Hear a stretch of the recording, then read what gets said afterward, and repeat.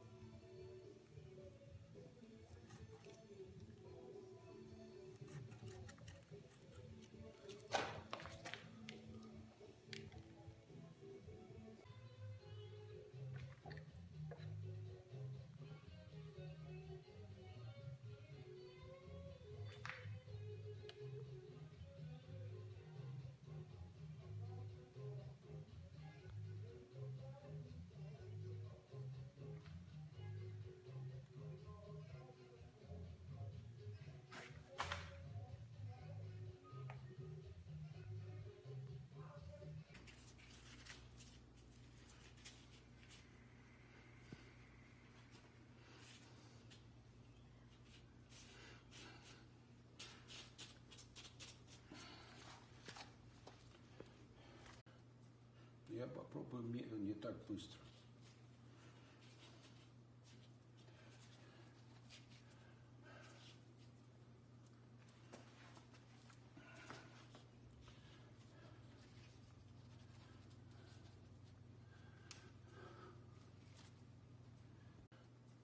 Я попробую не так быстро.